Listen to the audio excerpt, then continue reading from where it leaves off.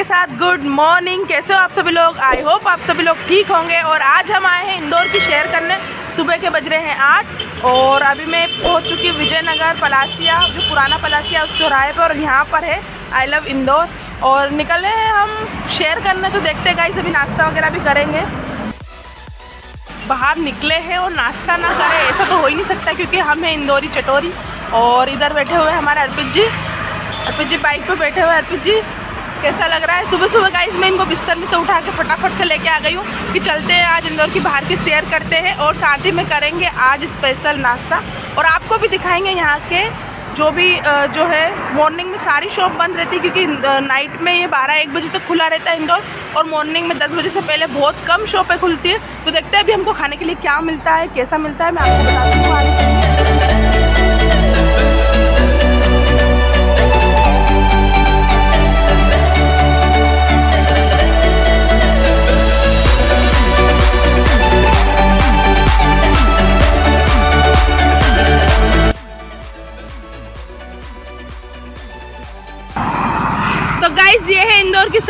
इंदौर सबसे स्वच्छ शहर है और आप देख सकते हो रोड पे कितनी शांति उसके बाद यहाँ कोई कचरा वगैरह भी नहीं है। और मॉर्निंग में यहाँ रोड बहुत ज़्यादा कम ही चलता है गाइस और इवनिंग में बहुत ज़्यादा यहाँ भीड़ होती है।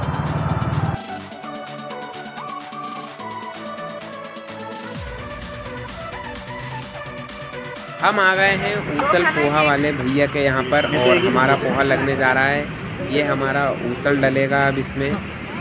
पूरा ऊसल से भर देंगे भैया। इस प्लेट को लावालब और यह काबुली चने से बना हुआ ऊसल है।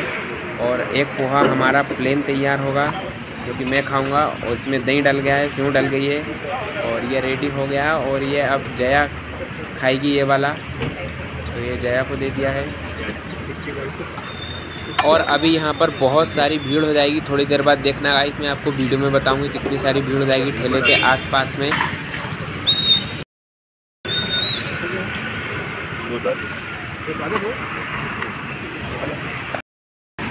तो गाइज़ आज हम आए हुए हैं उसल पोहा खाने और एक प्लेट जो है उसल पोहे की वो हमको पैंतीस रुपए की पड़ी। और अभी इसका टेस्ट हम देखते हैं। ये प्लेट तो काफ़ी अच्छी दिख रही है। टेस्ट देखने के बाद पता चलेगा कि पैंतीस रुपये लायक है या नहीं। और जो ये वाला पोहा है सादा पोहा जो उन्होंने पंद्रह रुपये का दिया तो अभी हम टेस्ट करके बताते हैं गाइज़ कि कैसा लगा। अर्पित जी मुँह में पानी आ रहा है या नहीं? बहुत तेज़ आ रहा है और ये इंदौर का प्रसिद्ध पोहा है। इंदौर खाने पीने के नाम से जाना जाता है। बिल्कुल तो गाइस इसको टेस्ट करके और आपको बताते हैं कैसा टेस्ट है इसका।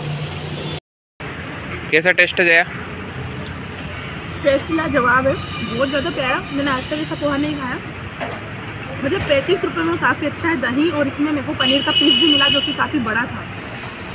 ये नींबू अलग से मैं ऐड कर दूँ तो बहुत ही अच्छा इसमें पनीर दही अनार के दाने हम्म। और भी चीज़ें इसमें ऐड है जैसे काबुली चना। और बहुत टेस्टी पोहा है। मैंने तो नॉर्मल वाला ही लिया है क्योंकि मुझे यही पसंद है। मैं ये वाला भी टेस्ट करके बता देती हूँ ये वाला पोहा मुझे कैसा लगता है। और ये पोहा खाने के लिए आपको इंदौर आना पड़ेगा। बिल्कुल।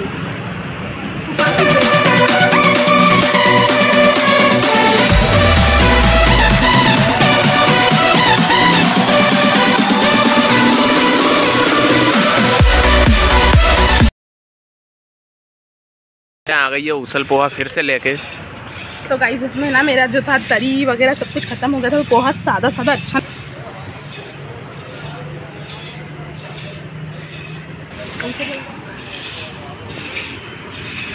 और इंदौर के लोग दोस्तों खाने पीने के मामले में इतने चटोरे हैं कि देख सकते हो आप कितनी भीड़ जमा हो रखी है ठेले के सामने।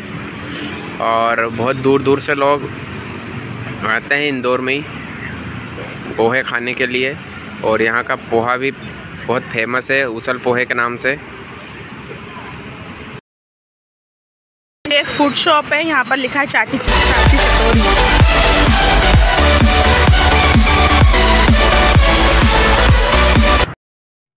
यहाँ मैं बैठ चुकी हूँ बाइक पर। गाइस पोहा बहुत ही ज़्यादा टेस्टी था, लेकिन मैं आपको एक चीज़ बताना चाहती हूँ कि इतना हेल्दी पोहा मॉर्निंग में अगर आप सुबह उठ के खा रहे हो तो बहुत गलत बात है भाई, क्योंकि उसमें अनसन तो तरी है, उसमें इतनी ज़्यादा तरी थी, उसके बाद उसमें जो है चना वगैरह, ये सुबह सुबह है ना, बहुत ज़्यादा हैवी हो रहा था। नॉर्मल पोहा सेम खाना अच्छी चीज़ है तो वो ज़्यादा हैवी हो रहा था, फिर भी लोग इतना पसंद कर रहे हैं। काफ़ी अच्छा टेस्ट था, दिन में अगर हम खाते हैं और अभी मैंने जो खा लिया ना मुझे इतनी मतलब मेरा जो एक प्लेट था वो मुझसे पूरा खिला ही नहीं। इतनी ज़्यादा उसमें क्वांटिटी थी। तो ये बारह एक बजे के समथिंग अगर हम खाते हैं तो हमको खाना खाने की कोई ज़रूरत ही नहीं और अभी मेरा पेट फुल हो चुका है। जी खेल खोल रहे हैं यहाँ पर गेट हम आ चुके हैं घर। अर्पित जी की शक्ल देखने लायक है क्योंकि नींद में से उठ के ले गई थी मैं उनको। चलो। चलते गाइस इधर चला है पानी, जो कि पीने का हमारे इस नल में आता है, जो कि चालू हो गया है। जस्ट हम आए और हमको नल चालू मिला तो हमने पानी भर लिया। तो गाइज़ मैं आ चुकी हूँ घर। घर आते से मुझे नल चालू मिला तो मैंने पानी भर लिया है। और उसल पोहा काफ़ी अच्छा था, टेस्ट बहुत अच्छा था, और काफ़ी हेवी हो जाता है। गाइज़ मॉर्निंग में मुझे मतलब उल्टी जैसा उठके टाइप हो रहा है। और अर्पित जी ने तो सादा पोहा खाया तो अर्पित जी को ऐसा कुछ नहीं हो रहा है। सादा पोहा बहुत टेस्टी था। अर्पित जी। और अब हम जाएँगे किसी दिन छप्पन पे और छप्पन पर जाकर देखते हैं क्या चीज़ है खाने की। छप्पन पे पहले मैं गई हुई हूँ लेकिन बहुत दिन हो चुके हैं तो अभी एक बार ब्लॉगिंग के लिए जाएँगे। आप सभी लोगों को भी दिखाएँगे कि यहाँ का इंदौर का छप्पन है किस टाइप का। तो गाइज़ मिलते हैं अब न्यू ब्लॉग में न्यू स्टोरी के साथ। तब तक के लिए टाटा बाय बाय नया हो तो चैनल को कर दीजिए सब्सक्राइब